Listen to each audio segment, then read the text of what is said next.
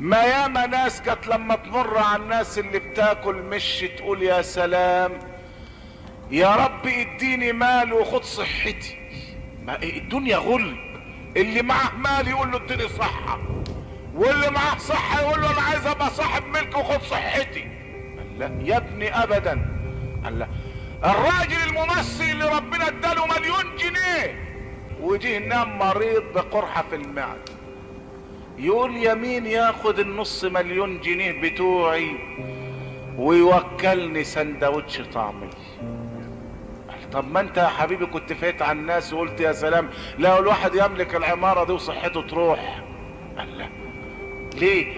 ولذلك يا اخوانا الانسان ما يقولش ربنا اديني فلوس. ما تقول ما تقترحش على ربنا. ما تقولوش اديني فلوس. كمان لما تحب تتجوز ما تقولوش يا رب أنا عايز واحدة جميلة بنسبة 99.9% قال لا بقول لك إيه؟ هو أنت هتقدم عند حل ربنا؟ هتقترح على ربنا؟ إنما قول ربنا اتنا في الدنيا حسنة وفي الآخرة حسنة. وسيب الحسنة دي ربنا